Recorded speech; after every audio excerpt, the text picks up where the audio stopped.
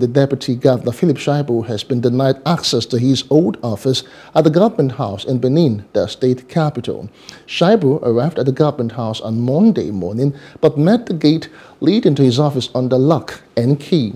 He said he has yet to receive a formal letter from the governor's office and that, according to him, is a proper channel to transmit a directive pertaining to the relocation to a new office.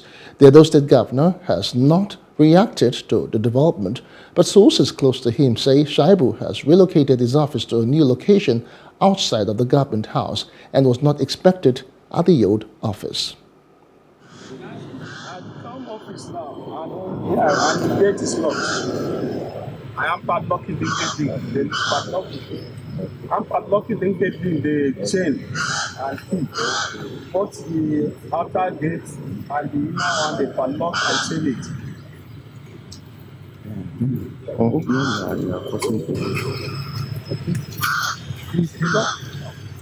The governor said they should lock it. That they are using the office for something else.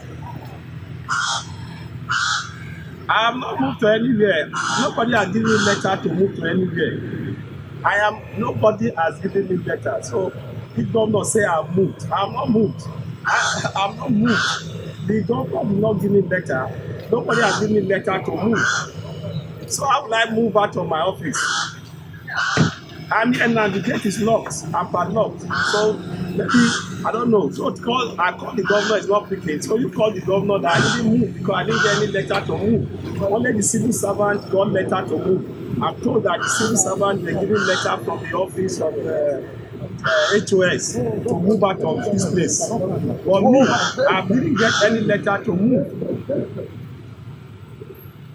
So I'm here. They should come and open the gate, please.